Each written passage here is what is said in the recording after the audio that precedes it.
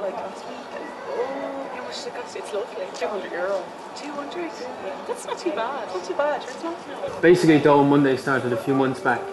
Um, we started hearing stories about unemployment, uh, how bad it was, how hard it is being on the dole, etc., etc. Uh, so we thought we'd give it a go to see how we'd cope in, in that situation. Okay, so Dole Mondays. Um, on every Monday, Dole Monday, you have a budget of 188 euro.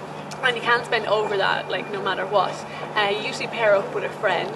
Gem and I always pair up together. Yeah, exactly. And your partner keeps track of everything that you spend. And if you go over that amount, you have to buy everyone drinks the next day for the exact amount that you went over. She always goes over by at least a tenner. No, I don't. I see myself as somebody who, uh, in the future, might have to make some pretty difficult decisions about uh, welfare, wages, uh, things like that, in a, in a business role or a government role. Uh, so I thought it was a good way of, you know, peeking over the, the, the other side of the fence to get a feel for what it's like over there, you know? Uh, but it's also a lot of fun too.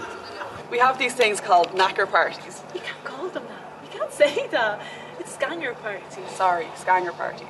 And you can only go in either your pajamas or a tracksuit bottom, and you have to drink Dutch Gold, and we order cheap pizza Yeah. and stuff, and like listen to rap music. It's brilliant. It's a total buzz, like. Do you remember Charles? yeah, Charles. He spent the whole night speaking like a complete knacker. Yeah. I mean, scanger. And um, he was going. What, what is it they say? oh, it's like it's like a storyboard. No, no, no. Storyboard. Storyboard. How do you feel about social welfare being cut in the budget in December? God, are you serious? By how much? Possibly up to 10%. That'd be rough, wouldn't it? But I suppose that's coming up to Christmas, so if I can manage to save maybe 20 quid every Monday, then that'd probably be quite useful. Just think. If there's one thing that Dole Monday have taught me, it's that I couldn't live this way for more than one day a week. I mean, I just couldn't put up with it. I am too, I'm too motivated. I'm too ambitious. I am too driven. I would get out there. I'd bang on doors. I'd work for free until I'd found a job. You can't maintain a sense of entitlement forever.